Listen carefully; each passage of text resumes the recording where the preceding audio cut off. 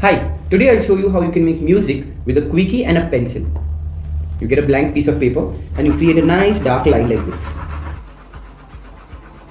Once done, you can ask somebody to help you create the circuit with Queaky. Can you please keep your finger here?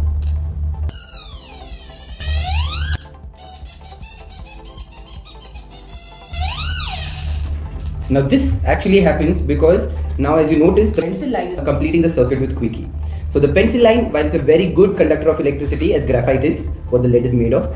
How this works is that graphite is a good conductor of electricity. So when you make a nice dark line, the lead material that is uh, that you can see on the paper is what is conducting the electricity. So now the circuit is being completed by this pencil line over here. And as the line becomes longer and longer, the resistance for the current to flow becomes higher and higher. That's why the further you go from the main source, the resistance goes higher and the tone that you get is a little lower. And using this principle, we can play music with Queaky.